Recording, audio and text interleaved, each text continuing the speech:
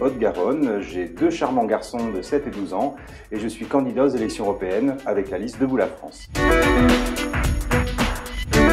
Au-delà de les avoir soutenus, je suis un gilet jaune de la première heure, pacifique, qui dénonce toute la violence et je me suis engagé dans ce mouvement citoyen parce que je souhaite plus de justice fiscale et plus de justice sociale pour mes compatriotes.